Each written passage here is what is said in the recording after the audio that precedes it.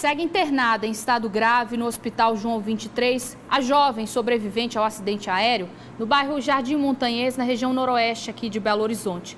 O corpo do piloto, pai da jovem, foi enterrado neste domingo em Governador Valadares, no leste do estado. O avião foi removido agora há pouco. Cerca de 100 litros de combustível foram retirados para evitar explosão. Um guincho foi acionado para retirar a aeronave. A grande complexidade é a gente conseguir realmente é, esses recursos que acaba não sendo o Estado que dá essa resposta de imediata de retirada.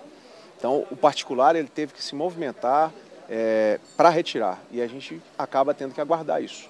Só depois que a CEMIG fez todo o trabalho para desligar a energia do local, a aeronave foi retirada. Durante os procedimentos, os moradores acompanhavam apreensivos, entre eles Dona Neuza, proprietária da casa onde o avião caiu. A gente tem que ficar praticamente na rua, né?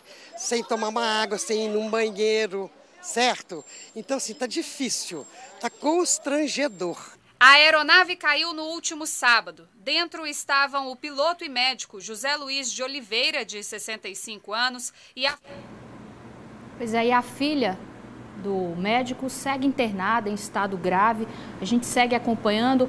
A, já há aí uma suspeita, uma hipótese é de que houve um problema no trem de pouso do avião, que inclusive já apresentou, ainda tem essa investigação que vai acontecer, de que ele havia apresentado outras duas vezes o mesmo problema neste trem de pouso. Mas, claro, a motivação desse acidente aí, dessa tragédia, segue sendo investigada. A Defesa Civil de Belo Horizonte informou que quatro dos cinco imóveis atingidos já foram liberados e amanhã há o retorno para vistoriar esse quinto imóvel que segue interditado. A rua Sapucaí